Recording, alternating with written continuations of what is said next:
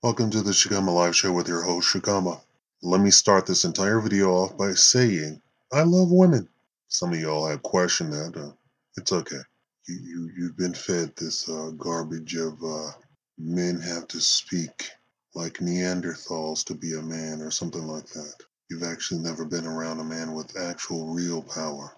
Real power doesn't chop down trees. It clears an entire forest.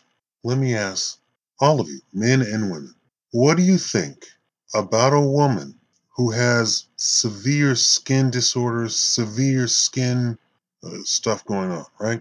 Where that she almost does not look human with her skin. Hold up, that's not the question.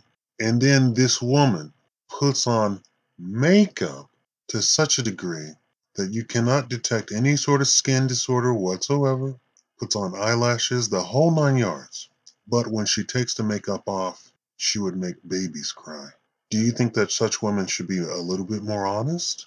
And what would you do if you met her with the makeup on, started dating her, and then six months later, you knock on her door one day and this monster opens the door?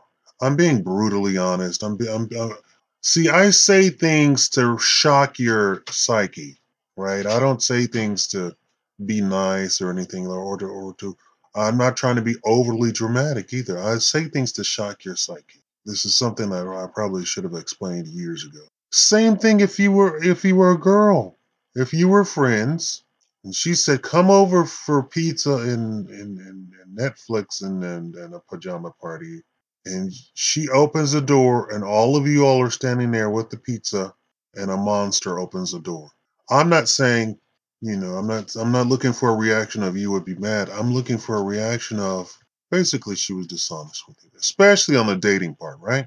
If you if you were dating somebody you thought was some hot chick, and then you see her without the makeup, and she literally looks like a monster. She looks monstrous. It's it's English. It's an English way of to describing a, a person's looks. She looks monstrous without the makeup on. Would you would you be upset?